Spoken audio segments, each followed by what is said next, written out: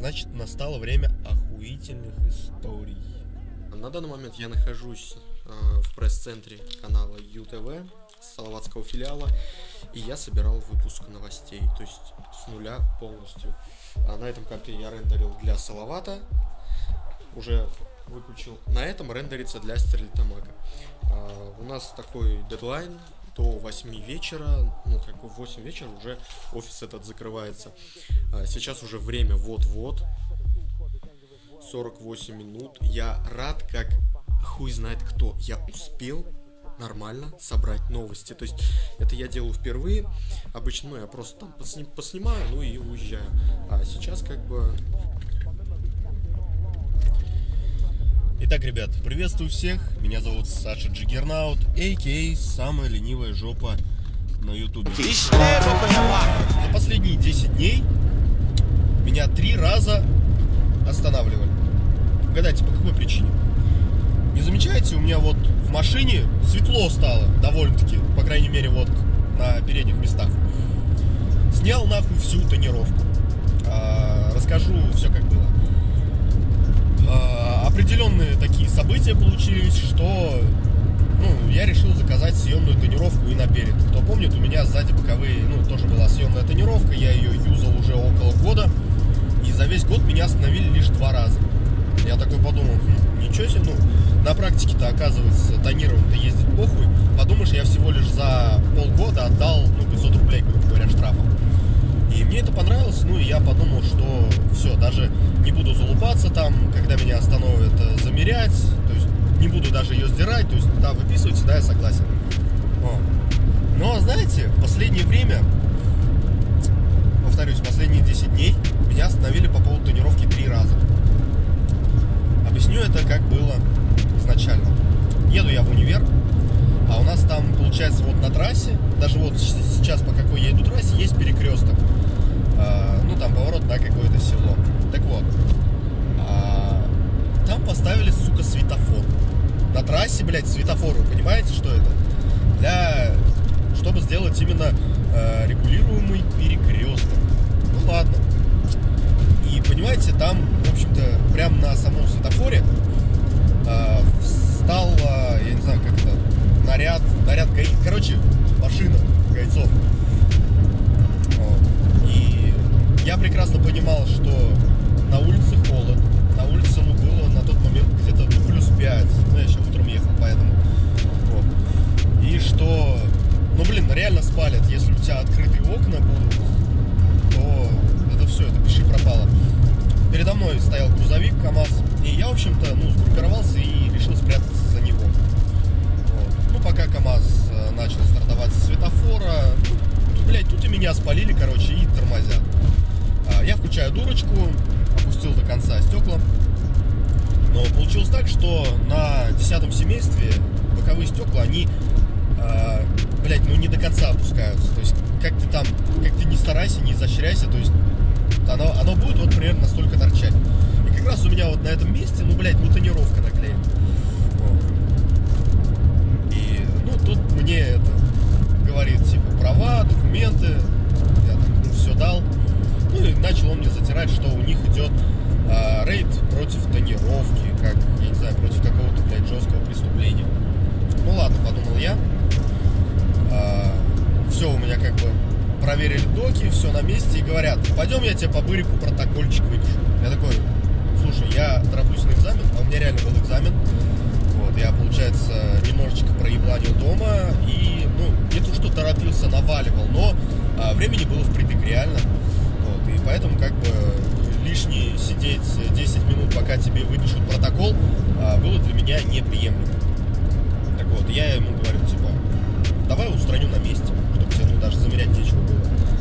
Вот, тот такой, слушай, ну, а ты где учишься? Я такой, ну, назвал университет название, он такой, о, я таких, это, троих уже оштрафовал, давайте тоже по-быстренькому протокольчик напишем. Я говорю, дядь, нет, давай это, давай, содру, он такой, окей, сдирай. Вот, ну, я по бырику все склеил, как там, расклеил. Вот. И он такой спрашивает, а у тебя это съемное, что ли? Я такой, не-не, дядь, вообще нихуя не съемное. видишь, скомкал, кинул, просто так это, хорошо отклеилось. А по сути, ну, кто немножечко шарит в тонировках. Съемная, сука, она как целлофан. Она плотная. Ее очень сложно, блядь, порвать. Ее очень сложно замять как-то, чтобы на ней именно остались складки, которые ты, я не знаю, не растянешь ладонью. То есть ты реально их можешь разгладить, и все будет по кайфу. Вот. И когда вот именно уже сдирают непосредственно саму пленку, обычная тонировка, блядь, какая бы она ни была, а, китайская или американская, она рвется, потому что она тонкая, она, ну, она лучше качества идет, она не бликует, у нее нету там каких-то, блядь, замутнений, как это в съемной тонировке. Но она вот, сука, очень сложно клеится и сложно сдирается. То есть иногда бывает даже, она сдирается клочками, а бывает остается следы после нее. Ну, он меня отпустил, отдал документы, говорит, ну ладно, раз уж ты содрал. Окей, я доехал в универ, а в это время как раз ушел дождь. Ну, говорил же, погода холодная, ну и как раз пизданул дождь. Вот, я благополучно сдал один зачет и думаю, блин, обратно домой ехать растонированным, ну что, лошара что ли? Вот. Взял, короче, лист вот этой съемной тонировки у себя на руках, как ребеночка, подержал немножечко под дождем и прям вот как есть, бам, сюда. А, взял, короче, потом карту сбербанковскую, скрытая реклама, а, разгладил ей все неровности, выгнал воду и поехал домой.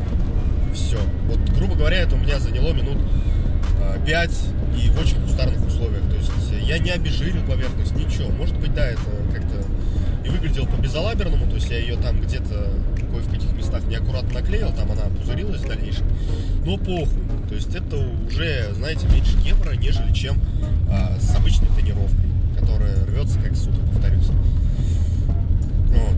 Ну и окей, продолжение ситуации. Тут я, знаете, поверил в себя и подумал, ага, значит, если так легко избежать штрафа, то ебану-ка я себе лоб, тоже съемной тонировкой.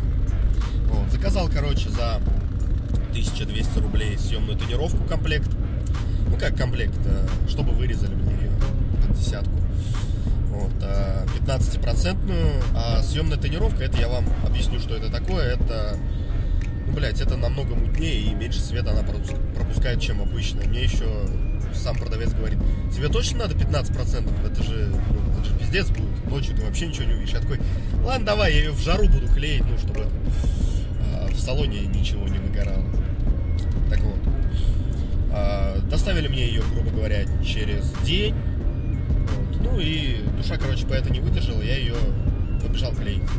Вот. Ну, конечно же, в этот раз было все на мази, я взял... Ну и думаю, все, сейчас буду, блядь, самым опасным. Тонированный в хлам, съемной тонировкой. Вот, и все будет у меня по кайфу. А, затонировался я, Э, дело это было вообще вечером. Ну и подумал, хм, ну в принципе нормально. То есть, да, окей, непривычно, я иногда вот делал вот так вот, чтобы э, получше разглядеть. Казалось бы, у тебя ухудшается только яркость. Что ты вот так вот близко э, прислонишься к стеклу, у тебя, ну ничего не изменится, по сути. Вот. Но почему-то я себя убеждал в том, что вот если вот так вот получше посмотреть, получше сосредоточиться, то ты увидишь темные участки. Окей, я поездил сутки с тонировкой. Ну и тут в один прекрасный момент а, мне надо было заехать а, в клуб, а, поговорить по поводу меню. У них там, в общем, дизайн поменялся, и надо им все это перерисовать. Вот, подкатываю, думаю, сейчас ну, подкачу к ним. А у нас, получается, сам этот непосредственно клуб находится ну, на пятачке. То есть, ну, как это называется, вот вот в каждом городе, сука, есть какой-то один главный перекресток, где все собираются, я не знаю, как это объяснить. Вот, а, грубо говоря, вот как в Московской, к примеру, смотровая площадь. есть, ну, это я такой, конечно же, ого-го, какой пример привел. Но у нас это то же самое. То есть вот этот вот именно перекресток, там и таксисты собираются, и рядом площадь, там, и вот все там шаурма, короче, продаются круглосуточно. В общем, рай, блин. Ну и получилось так, что там, поворачиваю я, в общем, туда, у меня лоб тонирован в хламину. Мне очень неудобно ехать. Сука, начался дождь. Я такую историю вам хотел забабахать. Ладно, забабахаю я вам ее на обратном пути. Потому что сейчас